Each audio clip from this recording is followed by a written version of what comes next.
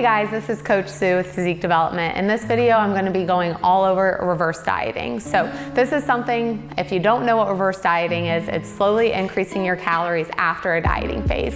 And you might think, why would I want to diet in reverse? I just took all this time to lose weight. And reverse dieting can be extremely beneficial for lifestyle clients as well as competition clients. So I'm gonna talk a little bit towards competition clients just because um, a lot of the questions that I got on Instagram and my Q&A box were in regards to post prep, where someone is stage lean and then having to gain back necessary body fat. But realize this does apply to lifestyle clients or lifestyle diet uh, or cut and to competition clients. So the reason that you need to reverse diet is because if you go from eating this low amount of calories to doing a lot of cardio or even just a lower intake than you're used to and then jump right back up to eating normally, that's when you regain the fat that you lost. And the big goal within dieting is being able to maintain that. So in order to do that, you can go ahead and increase calories slowly until you get to maintenance and you can keep that fat off um, or to a minimum. So when it comes to reverse dieting, some of the questions I got, and I got two questions here that will pop up on the screen is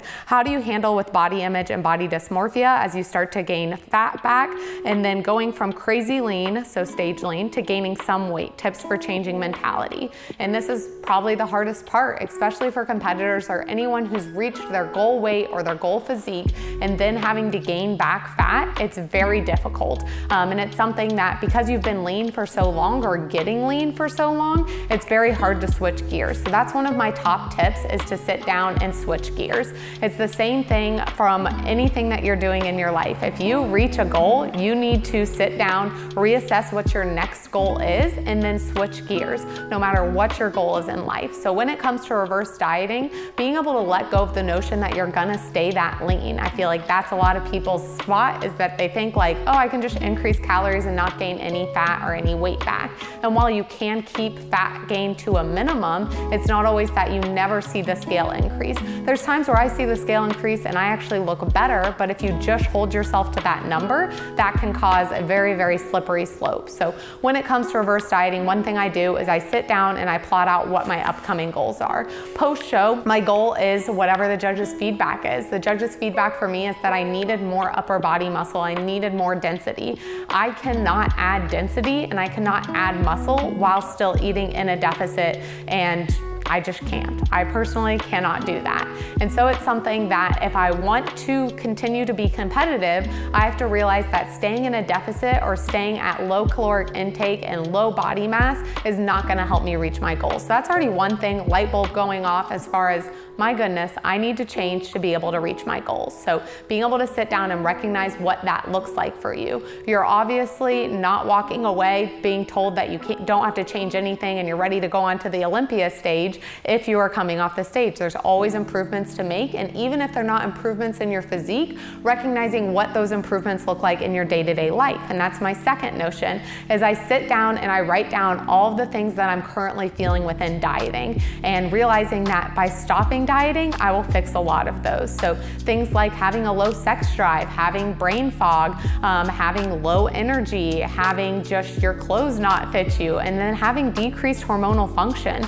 Um, and that kind of goes hand in hand with some of those other things, but you can have a sluggish thyroid, you can have low testosterone levels, you can have your sex hormones just in the wrong levels from prolonged dieting. Chronic dieting, time and time again, or even yo-yo dieting can cause a lot of negative effects on your health. So you want to circumvent circumstance those as much as possible. So that's another thing is I want my health back. And so for me, I lost my menstrual cycle. And so getting my menstrual cycle back, again, getting libido up, being able to be in a spot where I actually can put on muscle mass and then can have a normal functioning brain. Towards the end of prep, I just was very foggy. Um, it was even something we were just talking about making these videos and Alex was like, well, were you listening? I was like, yeah, I was listening. And he was like, well, you didn't listen the last time I did a video. And I was like, oh, I wasn't there that day. And everyone paused and was like, yes, you were, but I really was not mentally there. Like my mind was completely elsewhere. And that's something through the last few months of prep that I felt. And so that's something I don't want to feel for the rest of my life.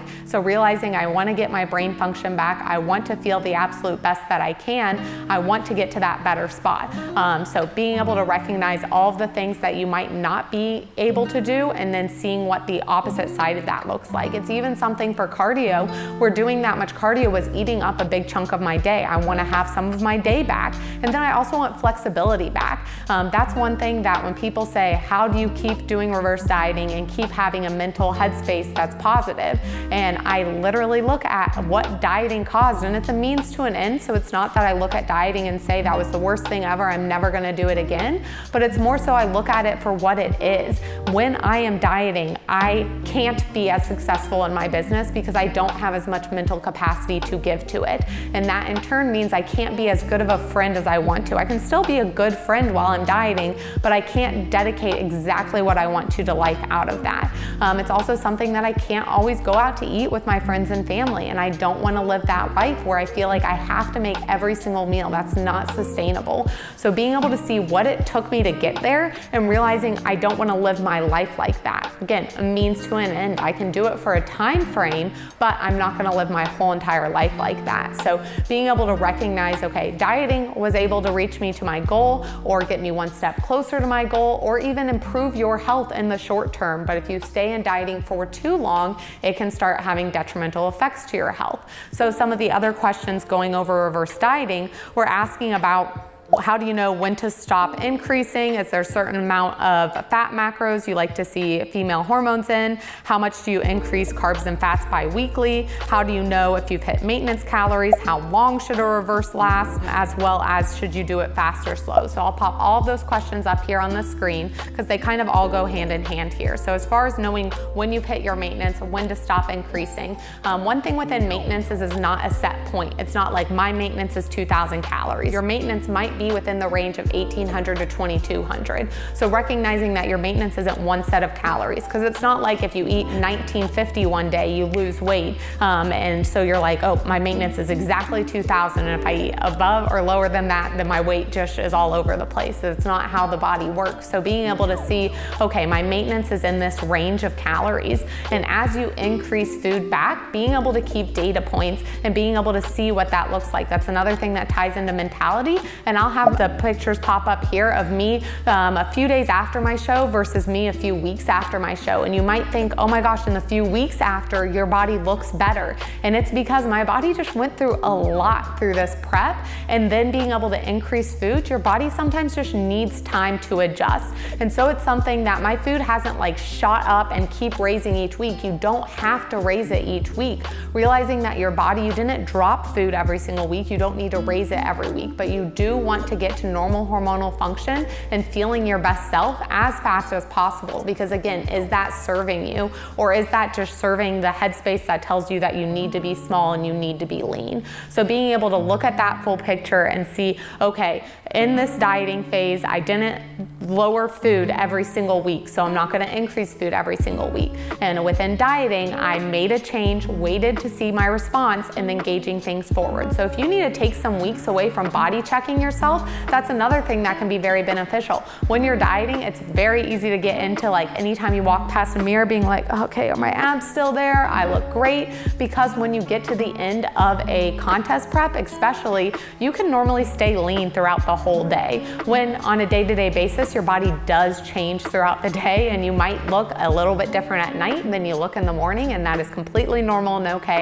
I know I definitely do, but it's something that can get very addictive as far as checking yourself out, um, kind of looking at your body, or especially within peak week and going into your show, you might be taking more and more pictures to send to your coach, or you might have never looked that freaky and been like, let's document it. Um, and then it comes to the reverse, and you're like, well, I've been documenting it so much, so I'm gonna keep documenting it, but that might not be doing the best for your mental headspace. So for me, I make sure that I'm not constantly, like the second I wake up in the morning, checking my abdomen, looking in the mirror, like all that. I even kind of switch over to wearing clothes that are less revealing so I'm not as focused on my body. I'm doing exactly what I need to do, eating the macros my coach has prescribed, doing the cardio my coach has prescribed, and making sure my mentality is in the absolute best spot to keep making progress forward. And for me, that means maybe not wearing um, as revealing clothes or maybe not wearing as form-fitting clothes or making sure that I give myself space to realize that my body is going to change. So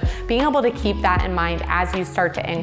So as far as knowing how many to increase each week or how often you should increase, that's going off of your biofeedback. So being able to make a change and then being able to read whether it's your weight, your pictures, your measurements, or just that biofeedback of how is your digestion going, because digestion can slow down at the end of prep or the end of a dieting phase. How's your digestion? How is your libido? How are your stress levels? Looking at how your sleep is, because sleep can be greatly affected at the end of a dieting phase. So being able to look at those factors, and if you start seeing increases in that, just being able to keep those as your metrics, not being greedy and being like, well, I need to get to the 200 carb club or I need to get to the 300 carb club. Um, kind of dropping out as far as social media goes of comparing your macros to other people, how fast someone was able to raise their macros. And sometimes you guys might be annoyed that I say like, oh, it depends, or um, it's gonna depend as far as how fast you raise them or how much you raise them by. But truly, there is no metric here as far as like, you should raise it by this many grams of fat and this many grams of carbs each time you raise it, and you should do it every two weeks. If that was the case, we wouldn't need coaches to read our feedback and tell us what to do. We would just be able to follow the guidelines and do them, but they're just that, they're guidelines, they're not rules. So being able to increase by a, a chunk, and I've seen girls, I've had clients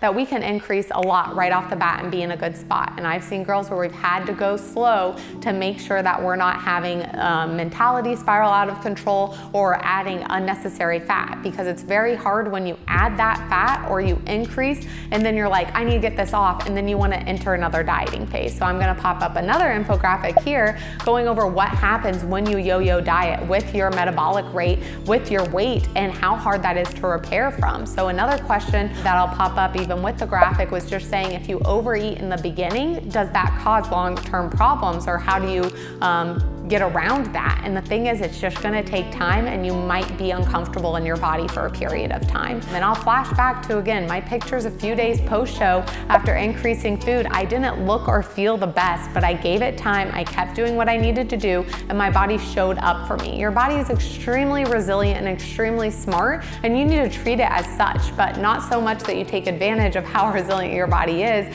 and try to keep taking it from extreme to extreme. So as you raise food, raise it, I would say fats, making sure that they get to 40 grams a day minimum. And that is a number I will throw out because that is a number known for normal female hormones working at the right level. So during contest prep, you might dip below that. Lifestyle clients probably should not. And I say probably because there's no um, hard and fast rules within all of this. But being able to get your fat to a place that it can support hormonal function and being able to give yourself a few weeks before you go and get blood work. I wouldn't recommend if you're you're like, well, I want to see where everything's at to make sure I can take the right steps to get to where I need to get, um, your blood work at the end of prep might not be exactly where it needs to be. Giving yourself about six weeks to assess the situation, to give your body time, and then going to get blood work can always be a great answer there. So as far as how fast or slow, it's gonna be dependent, but really keep in mind your biofeedback, your health, as well as your mental health and where you're at there, but do not prolong the deficit longer than you need to because you've already been in a deficit deficit, you don't need to keep being in it. And then as far as when you know if you found your maintenance, it could be something where you keep your food and with it, when it comes to food, sometimes it's just prolonged intake at that, where I could be at the same macros and my weight stay the same, but I could be at the same macros for four weeks, my weight not change, the fifth week it does change. It's the same thing with dieting,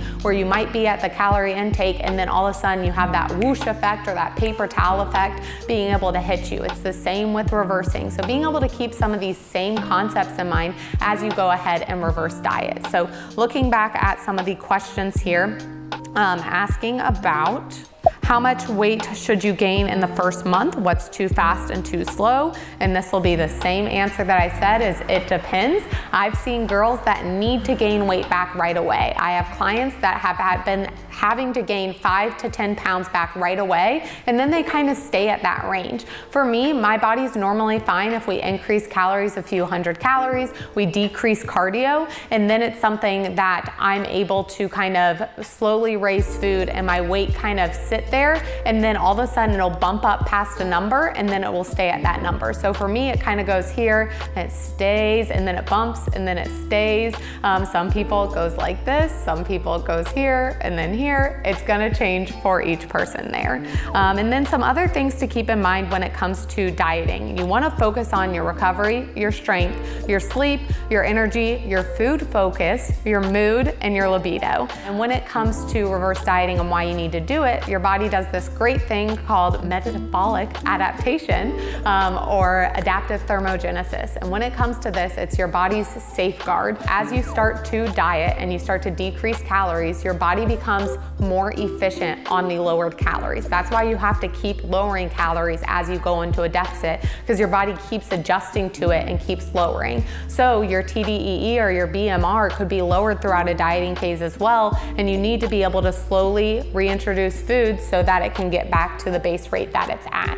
So your body is adaptive and it's great in that way, and sometimes it can be adaptive the other direction, which is great because you might be able to eat more food really quickly and maintain a lean physique, but it also is gonna be adaptive on the way down. So being able to keep that in mind, and you want to be able to raise it so you can raise those rates altogether to keep your body in the absolute best spot. Um, the other thing is looking at uh, the fact that your energy and your availability there. So you might see some girls um, that they start in the middle of their prep, they start reversing calories and they start their reverse diet. And then they're eating like a ton of food at the end and they're still staying so lean, but they might still be feeling the effects of dieting. And you might be like, well, how is that happening as they increase food? They just need to increase it more because when it comes to your TDEE, it's not just the increase of calories or energy, it's the increase of body fat or body weight that allows you to get back to that normalcy. So it's not just, oh, once I hit this calorie count, I'm okay. And that might also be something where you hear people talk about their calories and they say they're hungry or they're starving at a caloric intake where you might feel the absolute opposite. It's because each person's body is going to adapt to that different and each person's hunger is completely relative to what their dieting history is, what their training age is, and so many other factors here. So what you really want to look at is through dieting, you will have your leptin lowered, you will have your immune system function um, decreased, your BMR will decline, your exercise becomes more difficult, your digestion slows down, your thyroid can become sluggish, your libido can go down, and so many other factors. So reverse dieting, I get that it's hard to let go of a lean physique, but recognizing that your health is the main goal here. So being able to sit down, look at what your goals are so you can map that out and have a clear direction. Because if you don't have a clear direction, it becomes very hard. Also being able to contextualize what dieting was like. We like to romanticize things that we've already been through. So then as you start to gain weight back, it's like, oh, I was so lean, I loved myself. But I bet if you went back, your friends are like, you were dragging ass, you were miserable to be around, you were tired, you were foggy. So make sure you're not romanticizing the leanness and forgetting all the other negative factors that come with it. And this isn't to scare you from dieting or doing a contest prep, just realizing each thing is a means to an end. It's with anything in life. If you are a football player and you just practice and practice and never rest and never took breaks from practicing, that would also be very detrimental. So being able to look at this at a grander scheme. So being able to recognize what that looks like, what your next goals are, and being able to go from there. So I hate to tell you, but it depends for a lot of your questions, but there are great things that you can do to make sure your mentality is in check to have the absolute best results. Because if you optimize um, your sleep, if you prioritize your stress and manage your stress, if you focus on making sure you are healing your mental headspace as well, the reverse diet will be a lot, a lot easier. And being able to let go of the fact that your body is not gonna stay that lean for forever and you really don't want it to either. So um, I've rambled on long enough, but I hope I answered plenty of your questions about reverse dieting, what all it entails, what you do with it. Um, but I will catch you guys the next one. If you have any further questions about reverse dieting, you can of course shoot us an email, admin at physiquedevelopment.com.